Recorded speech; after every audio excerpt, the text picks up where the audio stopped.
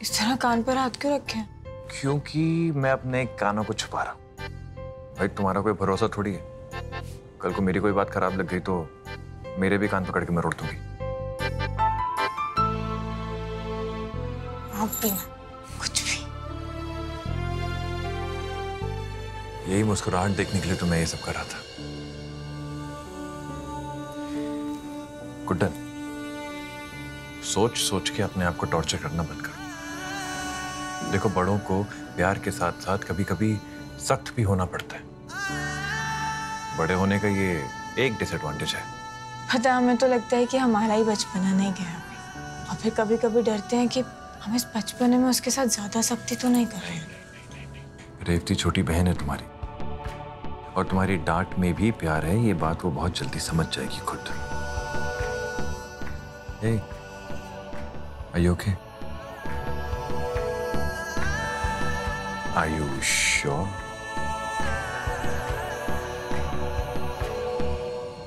Gooden अरे माँ वो मैं बस गुड्डन से पूछ रहा था कि जो हुआ कहीं वो परेशान तो नहीं है वैसे तो एक दूसरे के लिए तुम दोनों दुनिया से लड़ जाते हो लेकिन जब प्यार करने का वक्त होता है तो शर्मा क्यों जाते हो पति पत्नी हो शर्माना छोड़ो। अब खुल के प्यार करना सीखो। जी। हाँ तो लला मैं ये कह रही थी कि कल पूर्णिमा है। जी। मैं चाहती हूँ कि घर के सुख समृद्धि के लिए पूजा रखी जाए। हाँ सारा परिवार एकजुट होकर पूजा में शामिल होगा। सबके मन को शांति मिलेगी। ऑफ़ कोर्स ऑफ़ कोर्स माँ। क्यों गुडन है ना? हाँ माँ। हम भी चाहते हैं कि ये पूजा हो। सकता है इस पूजा के ज़रिए छुटकी की नफरत को कुछ शांति मिले, उसे वो सद्बुद्धि मिले जिससे वो इस परिवार को और नुकसान ना करे। तू चिंता मत कर बेटा काना सब देख रहे हैं। धीरे धीरे सब कुछ ठीक हो जाएगा, पहले जैसा, तेरी रेवती भी हाँ?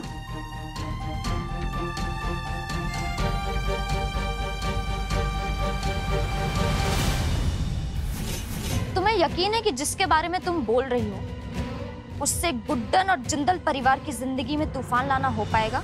एक बार मुझसे हाथ मिला के तो देखो रेवती, फिर तूफ़ान तो क्या? एजे, गुड्डन, पूरे जिंदल परिवार की ज़िंदगी में जलजला फैला दूँगी मैं।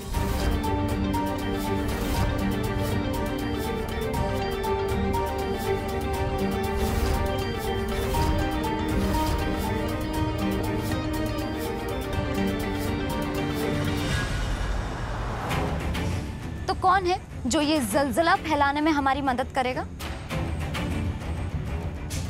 एक ऐसा तूफ़ान जिसके सामने कोई टिक नहीं पाएगा।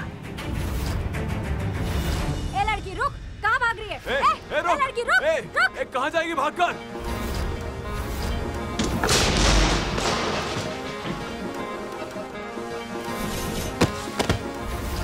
कहाँ भाग रही है? ए, ए लड़की रुक रुक!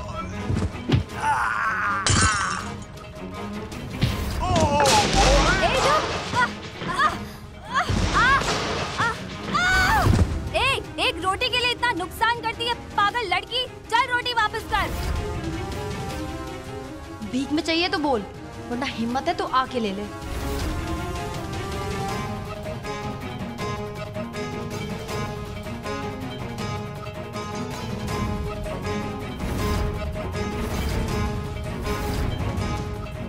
गुस्सैल शेरनी जैसी आँखें हैं उसकी। एक ही पंजे के वार से दुश्मन को चीर के रख देती है। इतनी ताकत है उसमें।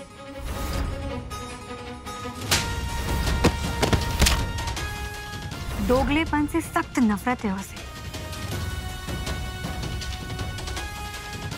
कोई एक बार उसके हत्ते चढ़ता है ना तो भगवान ही मालिक है उसका।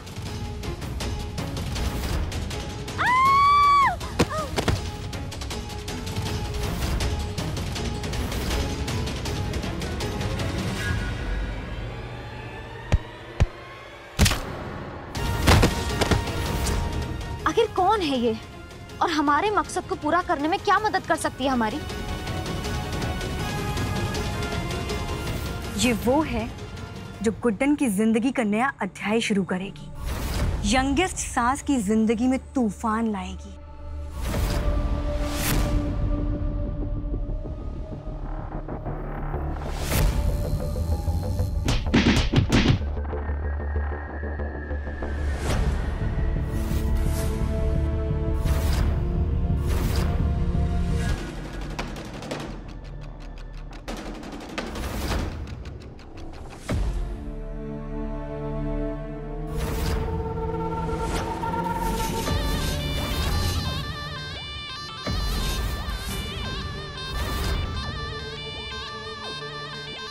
सुनो बे तुम सब लेडीज़ लोग।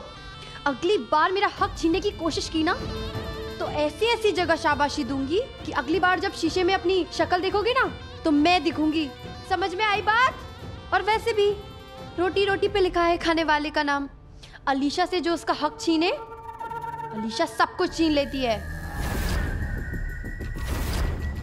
और उसका ऐसा रिश्ता है गुड्डन और एजे के साथ कि वो दोनों इस रिश्ते को ना ही निगल पाएँगे और ना ही उगल पाएँगे। कल पूर्णिमा की पूजा के दौरान उस पनौती के कदम पड़ेंगे जिंदल भवन में। और कदम पड़ते ही ऐसा भूचाल आएगा जिंदल परिवार में कि सब के सब दफन हो जाएँगे हमेशा के लिए। पूर्णिमा की पूजा बनेगी उन सब के लिए अमावस्या की रात।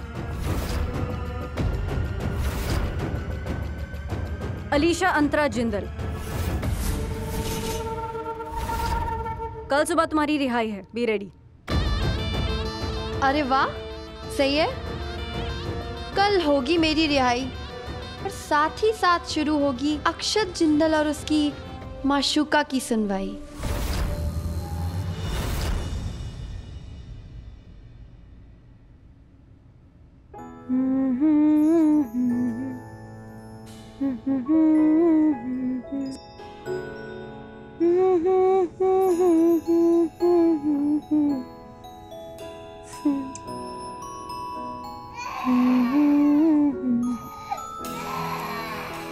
गुड़िया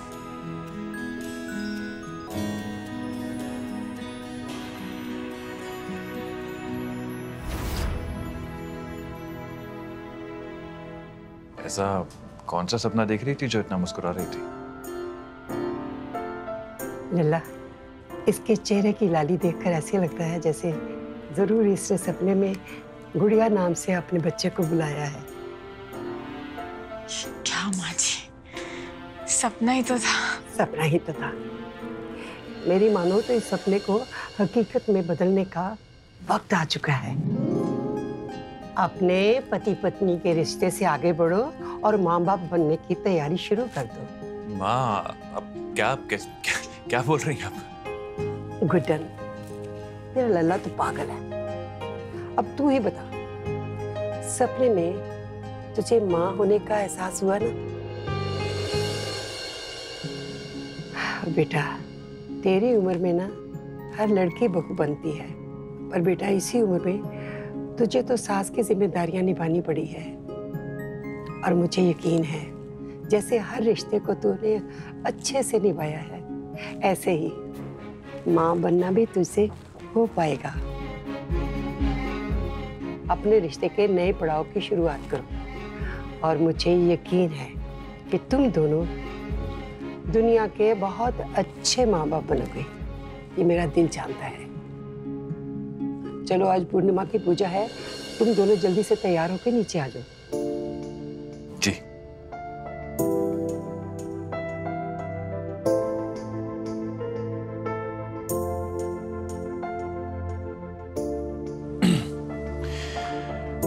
तो गुड्डन मैं सोच रहा था माँ की इच्छा के बारे में।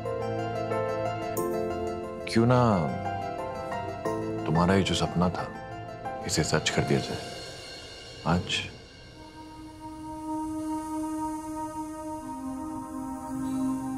अभी।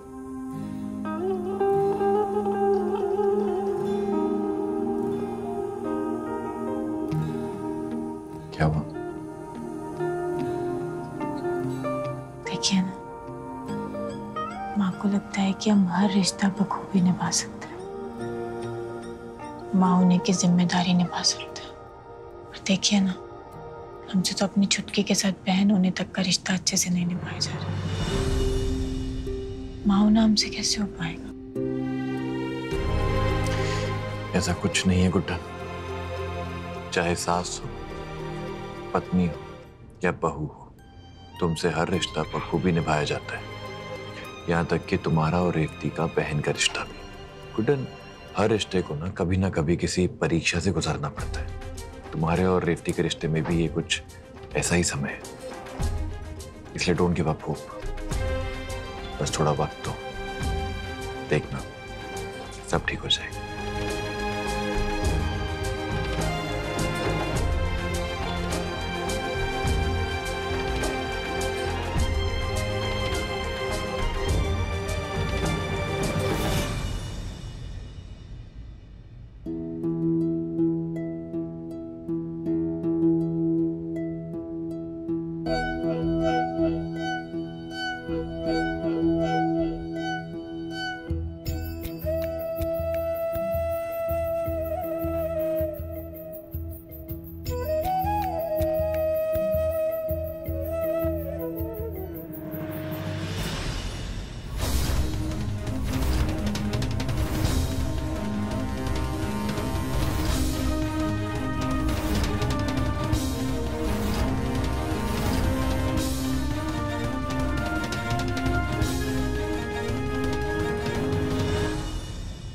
आज तक जैसे हर एक काम में मैंने आपका साथ दिया है तो फिर इस दिए के लौ को कैसे बुझने दे सकती थी मैं दी?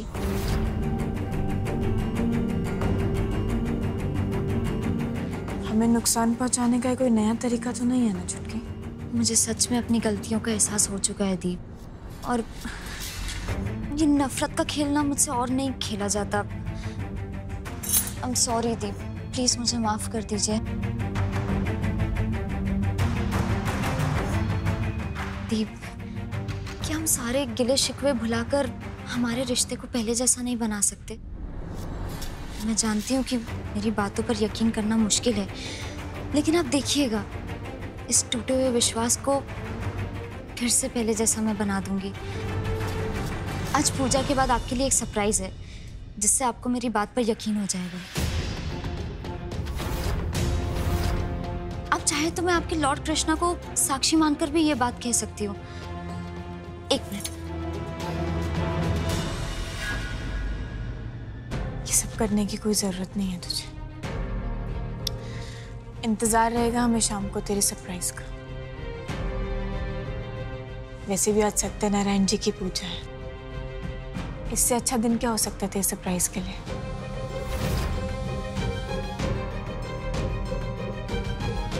मैं प्रसाद लेकर आती हूँ।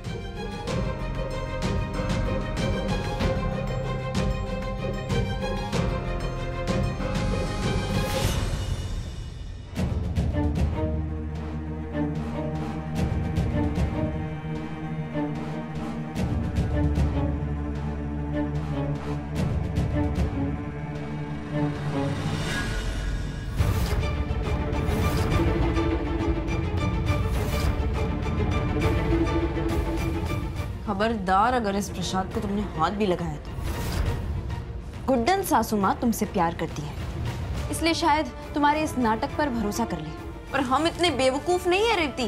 हम जानते हैं। तुम कोई बदली बदली नहीं हो क्योंकि तुम जैसे लोग बदलने का सिर्फ़ ढोंग करते हैं। अब बताओ रेवती और कौन सा नया जाल बिछा रही हो सासू माँ के लिए हाँ?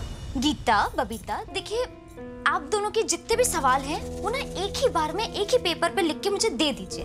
मतलब हद है। पहले तुम पूछती हो, उसके बाद तुम्हारी ये चमची दूसरा पूछती है। और सही पहचाना तुमने। मैं कोई बदली बदली नहीं हूँ, और ना ही कभी बदलूँगी। वैसे तुम्हारी सास ना, सास का माँ ज़्यादा है। मतलब चार मीठी बातें बोली नहीं कि तुरंत मुँह की तरफ़ पिघल जाती है। अब तो बस मुझे उस पल का इंतज़ार है, जब गुड्डन का भरोसा मुझे दोबारा तोड़ने का सुख मिलेगा। वैसे ज़्यादा टाइम नहीं बचा है पूजा शुरू होने में। और मेरा सरप्राइज़ देख के गुड्डन की इस पूरे जिंदल परिवार की आँखें ना तुम्हारे होठ की तरफ़ फटी की फटी रह जाएँगी। ऐसा क्या करने वाली हो तुम? देखो पिक्चर तो पूजा के दौरान ही रिलीज़ होगी लेकिन अगर तुम पूछ ही रही हो तो मैं ट्रेलर दिखा सकती हूँ। ठीक है ना? एक मिनट मेरा सरप्राइज़ कुछ इस तरह दिखता है। अपना हाथ दीजिए। अरे, दीजिए। अच्छा चलिए मत दीजिए अब दीजिए। और इसके खुलते ही बम!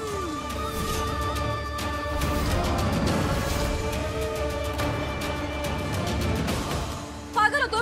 अरे अरे, आप दोनों तो इसको देख के डर गई। ये तो सिर्फ़ खिलौना है। लेकिन मेरा सरप्राइज़ ना असली धमाका करेगा। कुर्सी की पेटी बाँध लो, गुड्डन की बहुओं क्योंकि उसकी लाइफ में तूफ़ान का आगाज़ होने वाला है।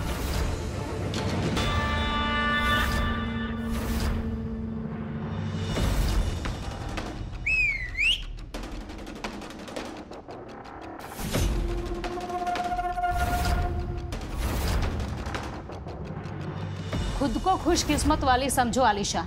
आज छह साल बाद तुम यहाँ से आज़ाद हो रही हो। यहाँ रहने के बाद तो कुछ खास सुधार नहीं हुआ तुम्हें। लेकिन बाहर जाने के बाद प्लीज़ फिर से पुरानी हरकतें मत करना। अब सुधरते तो वो हैं आंटी जिन्हें बिगड़ने का शौक नहीं। अब इसी शौक ने कोई कांड करा दिया तो आ जाऊँगी आपका गोभी जैसा मुँह देखने। ए, ले चलो इसे। ना जाने कौन वो बेवकूफ़ है जो इतनी बड़ी आफत को यहाँ लेने आया है। कोई तो है मेरे जैसा जिसे मेरी ज़रूरत पड़ गई। एक्सक्यूज मी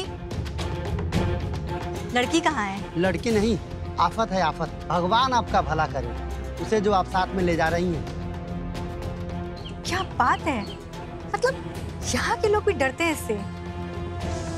मज़ा आएगा इस मोहतरमा से मिलने में। अरे क्यों जा रही है? वापस यहीं तो आना है तुझे। दो दिन नहीं झेल पाएगी तुझे बाहर की दुनिया। तेरा सरफिरा दिमाग तो यहीं पे ठीक हो सकता है। ओए तू तो मुझे सबक सिखाने वाली थी ना मुझसे बदला लेने वाली थी। अब क्यों दुम दुबा के भाग रही है? दुश्मनी भूल गई मुझसे? फ़िक्र ना कर बेबी डॉल तेरा ये चपटा सा मुँह मेरे दिल में छप गया है।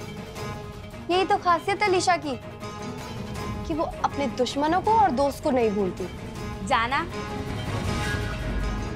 छोड़ अलीशा छोड़ छोड़ छोड़ छोड़ छोड़ छोड़ ना इसे छोड़ दे अरे जल्दी मिलेंगे इंतज़ार करना मेरा। इतना भी नहीं कि डर के मारे तुझ जैसी हसीना का पसीना छूट जाए। जिसके पल्ले पड़ेगी ये मुसीबत कसम से जीना हराम कर देगी।